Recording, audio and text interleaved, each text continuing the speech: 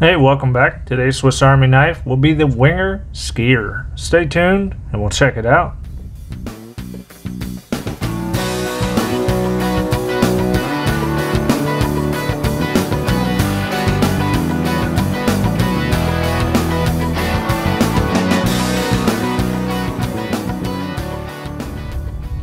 The Wenger Skier is a somewhat hard to find model made for the skier sports enthusiast.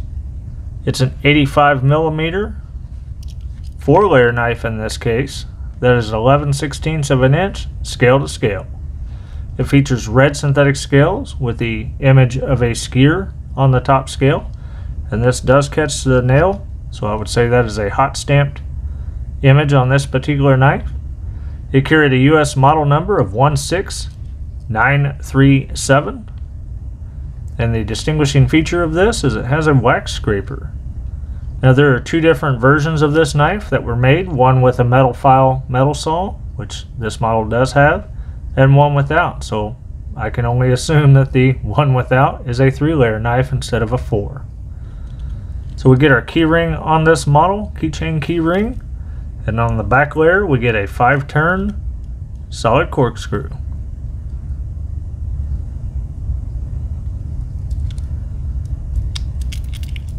We get the Wenger style reamer all.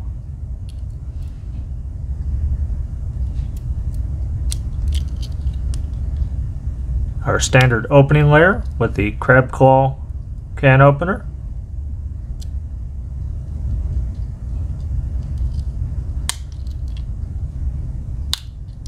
Cap lifter, wire bender, and hollow ground screwdriver this model does not have the patent stamp and does not have the torque lock. This model does have the metal saw metal file.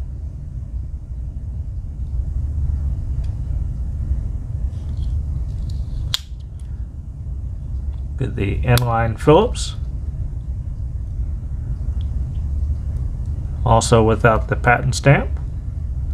So whenever that was uh, brought about, there's obviously a date change, but I'm unaware of what the date change is. Then we have our ski wax remover or scraper.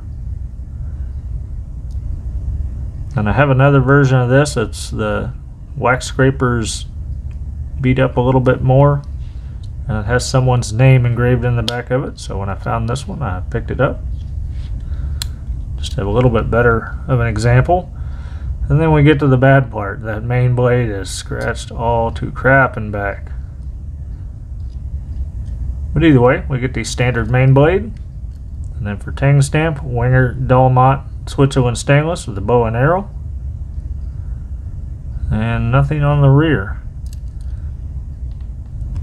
We'll have to uh, clean that up a bit. Then we get the nail cleaner nail file. This is kind of what I was talking about in the previous knife to where the file portion is towards the main blade. So if you know when Wenger made that change, let me know. that also needs to be cleaned up. I didn't do a very good job cleaning this knife. We're making a video with it. We get scale tools with toothpick,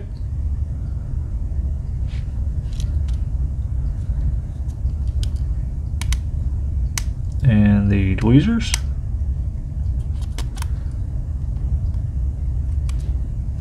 There we go. With the tweezers. They clearly gave you a toothpick to get the, the tweezers out. Yeah, sometimes you struggle on video. Is what it is. then again, the scale could probably polish up a little bit. It does have a lot of uh, scratches and dings and a little bit of discoloration in it there, but it does have that nice skier logo. I've seen a couple of these recently on eBay that the, the knife is in great shape, but the ski logo or the skier image is uh, worn out. And I'm sure you could switch scales around, but again, these are somewhat hard to find. Now I can't think of any knives that are really related to this outside of the um, One's for the snowboarder, which we've already looked at, uh, with the exception of maybe the model without the uh, file there. So either way, that about does it for that knife. If you like this video, thumbs up, subscribe below, and as always, I appreciate your time. Stay tuned, be nice to one another.